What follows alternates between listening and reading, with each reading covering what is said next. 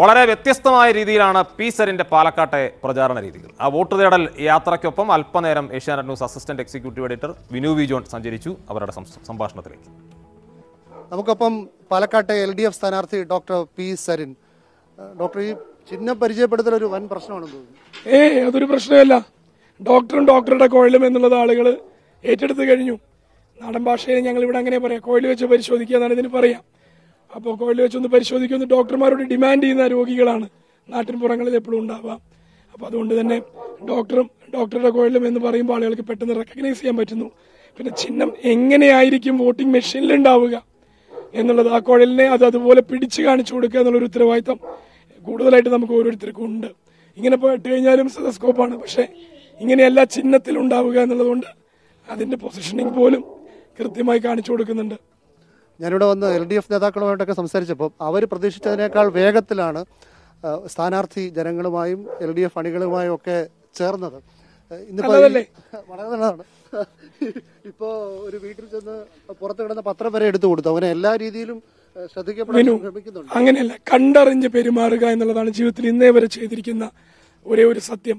അത് കാട്ടിക്കൂട്ടലായിട്ട് ആർക്കെങ്കിലും തോന്നിയിട്ടുണ്ടെങ്കിൽ അവരത് മാത്രം ചെയ്തവരാണ്. ഇപ്പൊ പത്രം അവിടെ അവിടെ ഇരിക്കുമ്പോൾ അത് അവർക്ക് അതൊന്നും അവർ വൈകി അല്ലെങ്കിൽ എടുക്കാൻ സമയമെന്നുള്ള അതിന് മുമ്പേ നമ്മൾ കയറി ചെല്ലുന്നു. അതുകൂടി എടുത്തു കൊടുക്കുന്നത് അവരെ സംബന്ധിച്ചിടത്തോളം അവരുടെ സൗകര്യമാണ് കൂട്ടുന്നത്. ഒരു പൊതുപ്രവർത്തകൻ അതാണ് ചെയ്യുന്നത്. മറ്റുള്ളവരെ അവരുടെ ഈസ് ഓഫ് ഡൂയിങ് തിങ്സ് അവർക്ക് ചെയ്യാനുള്ള കാര്യങ്ങൾക്ക് നമ്മൾ എന്താണോ നമ്മളെ കൊണ്ട് ചെയ്യാൻ പറ്റുക അത് ചെയ്യുന്നു. അത്രേ ഉള്ളൂ. അമ്മ ചിഹ്നം മറക്കണ്ട കേട്ടോ. ഡോക്ടർ കോയിൽ കൂടി ഉണ്ടാവണം. ഡോക്ടർ സരിൻ. ഈ കുഴലിനേക്കാൾ ഇപ്പോൾ ഇവിടെ ചർച്ചാ വിഷയം ഒരു നീല ട്രോളിയാണ്. അതെ കുഴൽപ്പണം എന്ന് പറയുന്നതിനെ ചാക്കിൽ മാത്രമായിരുന്നു ഇതുവരെ ശീലിച്ചത്.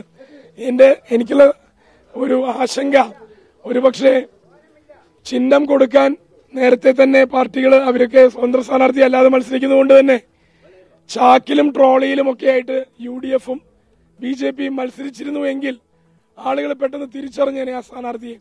അവരുടെ അംഗീകരിച്ച ചിഹ്നത്തിന് പകരം നീല ട്രോളി ബാഗിൽ യു ഡി എഫും ചാക്ക് ചിഹ്നത്തിൽ ബി ജെ പിയും മത്സരിച്ചിരുന്നുവെങ്കിൽ ഒരുപക്ഷെ നമുക്ക് വെല്ലുവിളിയായേനെ. ഇപ്പൊ ജനങ്ങൾക്ക് വേണ്ടാത്ത രണ്ട് ചിഹ്നങ്ങൾ രണ്ട് സ്ഥാനാർത്ഥികൾ.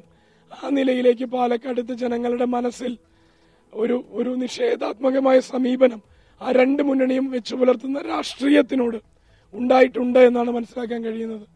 മറക്കണ്ട കേട്ടോ. ഡോക്ടർ മറക്കണ്ട. മറക്കണ്ട. കേട്ടോ. പക്ഷേ ആ പാതിരാ നാടകം പൊളിഞ്ഞു എന്നാണ് യു ഡി എഫിന്റെ ക്യാമ്പയിൻ. അല്ല അവർ ക്യാമ്പയിൻ ചെയ്ത് വിജയിക്കുകയാണെങ്കിൽ നമുക്ക് മനസ്സിലാക്കാം ഇന്നേ വരെ രാഷ്ട്രീയമായിട്ട് ഒരു ക്യാമ്പയിൻ ചെയ്ത് വിജയിപ്പിക്കാൻ സാധിക്കാത്ത ആളുകളാണ് ഒരെണ്ണം. നമസ്കാരം അച്ഛാ ചിഹ്നം മറക്കണ്ട. ഇങ്ങനെ പറഞ്ഞതുകൊണ്ട് എല്ലാമായി എന്ന് വിശ്വസിക്കുന്നിടത്താണ് കോൺഗ്രസിന്റെ പരാജയം. ജനം എങ്ങനെയാണ് അത് അക്സെപ്റ്റ് ചെയ്യുന്നത് എന്ന് കോൺഗ്രസ് ഇന്നേ വരെ വെരിഫൈ ചെയ്ത് നോക്കിയിട്ടില്ല. ആ വെരിഫിക്കേഷൻ ഒരു ഇലക്ഷൻ സമയത്ത് മാത്രം സംഭവിക്കുമെന്നും അവിടെ തങ്ങൾക്ക് അനുകൂലമായ ജനവിധി ഉണ്ടാവുമെന്ന് വെറുതെ സ്വപ്നം കണ്ടിരിക്കുന്നതിന് പകരം പോസിറ്റീവായി ജനങ്ങളുടെ മുന്നിലേക്ക് ഒരു വിഷയം അവതരിപ്പിക്കാൻ പരാജയപ്പെടുന്ന ക്യാമ്പായി നിരന്തരം മാറുന്നു എന്നുള്ളത് ഇനിയെങ്കിലും തിരിച്ചറിയുന്നത് നല്ലതായിരിക്കും. ഇപ്പൊ അവർ ആരോപിച്ചുകൊണ്ടിരിക്കുന്നു ജനങ്ങൾക്ക് ഇത് വല്ലതും ഏൽക്കുന്നുണ്ടോ? അവരിലേക്ക് ഇത് അങ്ങനെയാണോ എത്തുന്നത്? പറയുന്ന സത്യങ്ങളെ പ്രചരിപ്പിക്കാൻ അവർക്ക് ഒന്നാമത് ആളുകളില്ല. അസത്യങ്ങൾ പ്രചരിപ്പിക്കാൻ യു ഡി എഫ് ശ്രമിക്കുമ്പോൾ ജനങ്ങളത് ഏറ്റെടുക്കാത്തത് മറച്ചു പിടിക്കാൻ ഒന്നിനു പുറകെ വേറൊന്നായി ഓരോ കാരണങ്ങൾ അവരുണ്ടാക്കുകയും ചെയ്യും. പക്ഷേ സി പി എം കൊടുത്ത പരാതിയിൽ പോലീസ് കേസെടുത്തിട്ടെന്നാണ് പറയുന്നത്. ഈ സംഭവത്തിൽ എന്ത് ചെയ്യണമെന്നാണ് സ്ഥാനാർത്ഥിക്ക് പറയാനുള്ളത്? കുട്ടിക്ക് ഭക്ഷണം കൊടുക്കാൻ മറക്കണ്ട ചിഹ്നം മറക്കണ്ട. നിയമപരമായിട്ടുള്ള ഏത് തെരഞ്ഞെടുപ്പ് നടപടിക്രമങ്ങളും ജനങ്ങളോട് വോട്ട് ചോദിക്കാനുള്ള അവകാശം എല്ലാവർക്കും ഉണ്ട്. നിയമവിരുദ്ധമായി എന്ത് നടന്നാലും അത് അന്വേഷണ വിധേയമാകാൻ ഇലക്ഷൻ കമ്മീഷന് ഉത്തരവാദിത്തമുണ്ട്. സ്വമേധയാ ഉത്തരവാദിത്തമുള്ള ഒരു ബോഡിയാണ് ഇലക്ഷൻ കമ്മീഷൻ എന്ന് പറയുന്നത്.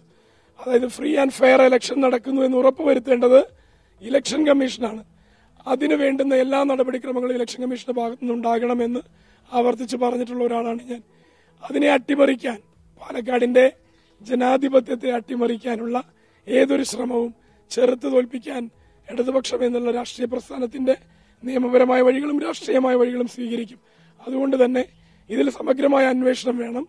ജനങ്ങളുടെ വോട്ട് സ്വാധീനിക്കാൻ ശ്രമിക്കുന്ന ഏത് ഇടപെടലുകളെയും കൃത്യമായി ജനങ്ങളുടെ മുന്നിലേക്ക് എക്സ്പോസ് ചെയ്യണം. ഈ കൂടെ കിടന്നവനെ രാപ്പനി അറിയുമെന്നാണ് പറയുന്നത്. ഇവരൊക്കെ ഇങ്ങനെ ട്രോളിയിൽ കടത്തു. ഇതിനപ്പുറത്തെ കടത്തലുകൾക്ക് സാധ്യതകൾ ഉള്ളവരാണ് എന്ന് കൃത്യമായി അറിയുന്നതുകൊണ്ട് ഞാൻ മൂന്ന് ദിവസം മുമ്പ് പറഞ്ഞു. കൃഷ്ണകുമാർ കൊടുക്കും ഷാഫി വാങ്ങും. മുമ്പും കൊടുത്തിട്ടുണ്ട്. നഗരസഭ തോറ്റു കൊടുക്കുന്നതിന് വേണ്ടി തിരിച്ചങ്ങോട്ട് പ്രത്യുപകാരം ചെയ്തിട്ടുണ്ട്.